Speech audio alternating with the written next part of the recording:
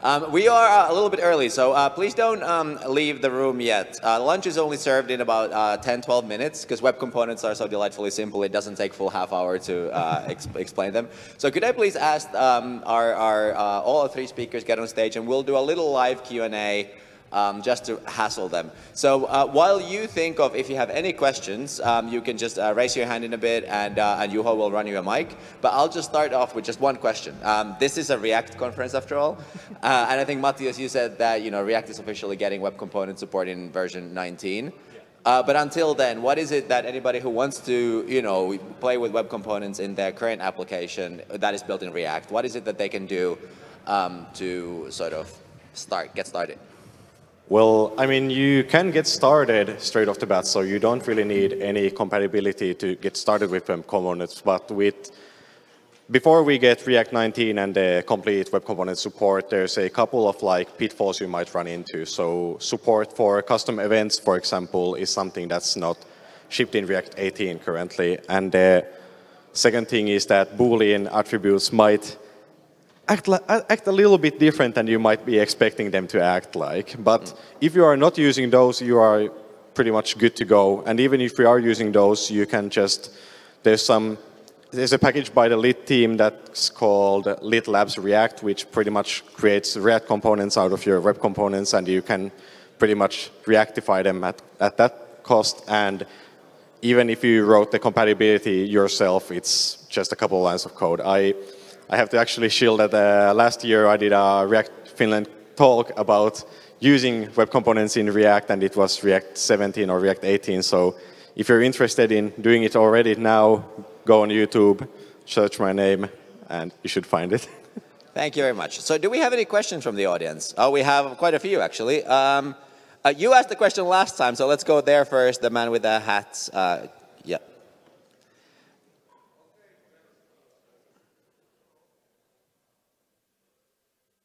Oh, is the mic now working? Oh, um, yeah, you can. Is it working? Oh, yes, it is. Okay, hi. Uh, I have a question about accessibility because it's it seems to use uh, custom H HTML elements. So, uh, if you are like um, visually impaired and you have a, a reading device for the blind, does it work with uh, like normal HTML, even though they are custom elements? Uh, yeah, sure. Like especially if you're only talking about text, like then there's uh, all accessibility tools just work fine. Because like for the uh, accessibility tools, the the DOM, the shadow DOM is like just the normal DOM. So whenever it finds the text content in that shadow DOM, it will also just read it out. Like it gets a little bit tricky when you come into like using forms, like inputs or checkboxes. Then there is like still some work that needs to be done to make this truly nice. But right now, sort of like the common workaround that most uh, design systems are doing is like putting their, uh, their actual inputs, like the, the native inputs into the light DOM so that they all are sharing the same form system, like the same form DOM. And then they are fully accessible. And then you can also use link areas, uh, aria-describedby with IDs to link to each other. Because those are still not possible to do across uh, shadow roots. But this is yeah, it's been in the works for quite some time, but there's a lot of things you need to do first, like element internals, and they're finally shipped everywhere. So now, like, it's the time to, uh, yeah, to improve on these, and these steps will come.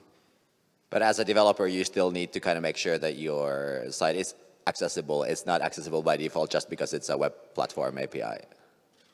Absolutely correct. Yes, like it's making it accessible is still a lot of work, but it's a lot of work in React, it's a lot of work in Vue, it's a lot of work in web components. Like the work just doesn't disappear. you still need to do it. It's a lot of work, for sure. All right, great. All right, uh, we had another question over there. Hi again. So I would like to play devil's advocate for a bit. Uh, you say that there are many, you know, benefits to web components, CSS encapsulation, uh, some uh, SSR capabilities, and so on. But uh, my counterpoint would be why not use Next.js? Because you can use CSS modules, you have SSR, you have React server components, you have uh, accessibility, you have pretty much anything you can ask for. So, what is the uh, reason for me to go over to web components? What are the great benefits? That's a great question. Thanks. um, I guess it's it's not a competition about which one is the best and should rule them all, or and and which one we should use or not use. It's definitely um, be driven by your developer experience and when you are what you are expecting. Um, when you start thinking about working on a design system and building things upon a, a design system, if you start to work on different kind of technologies because you are producing different apps using the same design system, but with different kind of technologies because because there is a lot of reason. Then having something that is common and understood by any kind of different frameworks that could be served as a foundation to build upon everything else, then web components a good answer. If your stack is full React and, uh, and, and your team is full React, and you, and you know that you won't change this technology for the next five years, yeah, maybe you don't have to think about using it at some point. But if you want to, like you said, sprinkle some kind of features and have it reusable outside of the, this very specific context, it's really, really useful, I guess. So. Yeah, I, am not an expert in this, but it did occur to me that the titles of your three talks are kind of interestingly an answer to, to that question as well. For one, you can avoid, you know, vendor lock-in and technology lock-in. For example, if you want to be moving your application layer from React to Solid, um, you know, if you are building on web components, you actually have a lot more sort of transferable, you know, assets moving from one. Then you have the idea of like shipping, you know, code as components, you know, which is something that doesn't depend on having a big framework, you know, it works with everything. And then finally, you get this islands architecture and which is something that's really impossible to do with the kind of React uh, server rendering model currently. So in some ways, that just the titles, you know, answer kind of that question in a very, very interesting way. Um, did you have anything else on, on that? Cool. Uh, any more questions? Uh, here's one over here. Oh, oh, sorry. Yeah, there's one more. I see you, my man. Uh, hi. So uh, this, I think, ties in with the previous question a bit. Uh, so let's say I come back after React Finland home and uh, I get to work and uh, I try to convince my boss to start writing some stuff using web components. And uh, then he asks, I tell him all the good things about it, uh, that it's very performant, it doesn't load much JS, it can be server-side rendered, etc. And he asks me, uh, what are the drawbacks? Like, what do you think is at the moment uh, the biggest drawback or trade-off that we are making?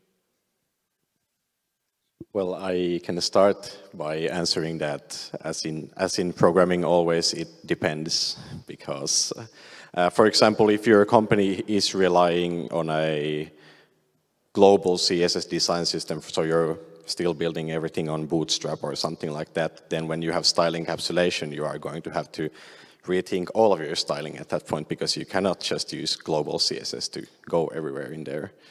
I think, does Thomas want to give the next drawback to this? does Mads have some drawbacks? I think like the styling one is one of the biggest that I hear that companies run into and then they start writing web components in light DOM, so they are not adopting the shadow DOM approach of it. And that's, that's a thing that is going to turn into a foot gun in half a year or a year, and then you're going to be wondering why you didn't use shadow DOM to begin with. So I mean, one thing, like especially if you have a huge existing application, like it's if you have a already complex situation, then introducing another stack is always sort of like hard.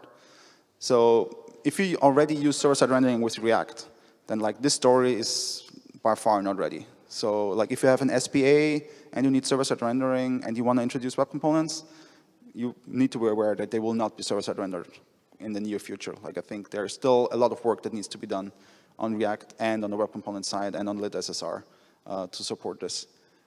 Um, and I think one thing, it's also like, but it's also like one of the benefits, so to say, like if you have web components, you can put everywhere and you can, or maybe even create sort of like Frankensteins in the sense that you could hide inside of a web component a lot of complexity.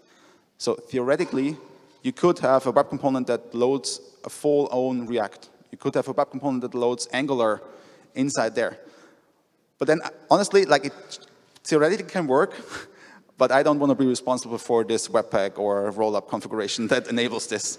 So I think it's sort of like a funny thing that in front end, apparently, it's seen as the norm that we can combine everything. Whereas, like, have you ever asked like a, Java developer, hey, I want to now introduce some Ruby into your Java code base? Yeah, like in front end it's possible, yes, because of how how yeah how the setup of browsers work, but it is. I'm not sure if like, it's always the best case. so it is a step by step, but the web components are really nice. Like if you can do really a step by step migration, you can really just say 90% is everything is the same, and only this page does something special. And then you can do it step by step and do that. So but I, it is work, for I think sure. I can provide some additional viewpoint on this uh, discussion about web components. So I work, or work with this client. I won't name names because there's a story. So they have this application I call Hydra. They don't know it, but I call it Hydra. So what they did, they built a jQuery application on top of which they built Angular application, on top of which they built React application, and they used Redux, Redux and Rx and whatever is the latest state manager. So they more or less have huge amount of different technologies in their legacy app. And of course, the boss always wants more features, so they never have time to refactor properly. But, but the way I understand it is, this, is that what they're doing over time is that they're writing web components to sort of slay the Hydra. So they like you take some old jQuery code, Angular code, whatever, you push it to web component, and you reduce the complexity from the past, from the legacy code. Uh, thank you, Juho. I think that went in the category more of a comment, less of a question. Uh, yeah, but, uh, it, there's no, no, no question here, but this is just a comment. yes. Like if, if you're dealing with some legacy code that's completely weird, maybe it's a way out. It's okay. He pays the bill, so he gets to speak to the I, microphone. I think we can still take one more question. Yes, let's do one more question uh, over here. Oh, Maybe we two, two questions, I don't know. Uh, I mean, okay, so let's put it this way. The lunch is served now, so if somebody is uh, very hungry, uh, feel free to quietly make your way out. But other than that, we can do a couple more questions for sure. Yeah, uh, so I wanted to ask uh, how you handle reactivity in web components, because, you know, we love React because, as the name uh, says, it's reactive, so uh, it's very easy to maintain the logical layer and the visual layer and how you do it easy in web components?